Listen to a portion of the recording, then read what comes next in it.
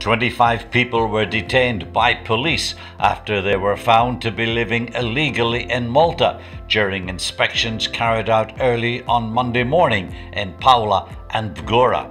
The inspections were carried out by police officers and the detention services.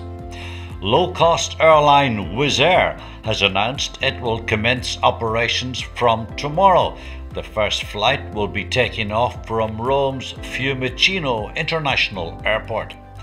There were 16 new cases of COVID 19 recorded in the latest 24 hour period, health authorities reported.